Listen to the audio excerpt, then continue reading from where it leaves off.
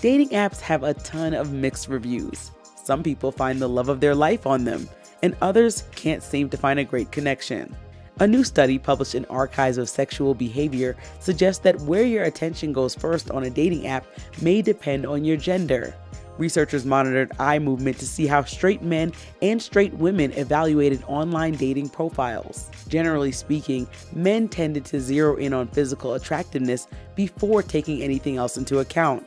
Women, meanwhile, considered both attractiveness and resource potential. The study found that essentially, women were more generous towards less resourced men when they were attractive, while men were more generous toward less attractive women when they had more resources.